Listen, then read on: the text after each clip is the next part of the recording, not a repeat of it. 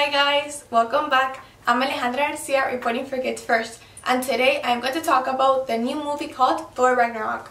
To start off, I want to say that this science fiction film movie had me very fascinated with all of the special effects and the animation and basically the technology that was used and included to make this movie. And I also like this movie because this movie was part of and is part of the Thor series. And I like that it didn't have the same plot of the old Thor series. I love that it had a new plot. Thor's sister Hela comes in and she creates a whole other story and I think that's very good to have a difference in all the Thor series.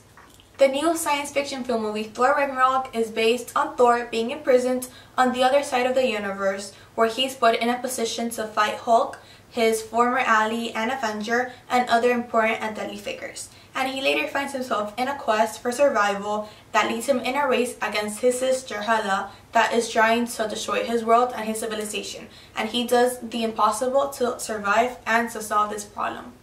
My favorite scene from this film is when Thor's sister and Loki's sister Hela comes in and makes her big entrance showing that she has power and that she wants to get control of anything that comes in her way literally. I love this scene because it shows that the creators of this film and the people behind it went out of the way to create something different for the new Thor movie as part of the series and make it different than the previous Thor movie. So it would not have the same plot over and over again and so it would compare to the other movies and they made it they made it stand out because they added a whole other side of it to the plot of this new film and they added a whole other story. They introduced a new character that adds so many things to the new movie that the other previous movies don't have. So it's not the same because you know how some series each movie is a little bit of the same? Well this is not the case. They made it completely different and I think it's very good for them to do so because it stands out and I also love this scene because I loved how they introduced the character. They made it seem a very powerful scene. Her coming in and showing the two brothers that she is here now and that everything is going to change. So I think it's very good for them that they did this scene because it brings a lot of power into the movie.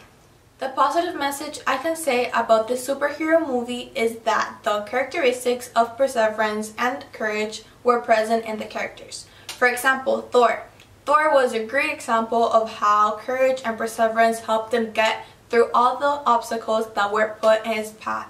For example, without going too far, the fact that he had to process that his own sister wanted to go against him, his people, his world, she wanted to destroy everything. She wanted to destroy her own brother and that's very impressive and he had to go through that. He had to understand that that was the situation he was placed in and that he had to go through it no matter what.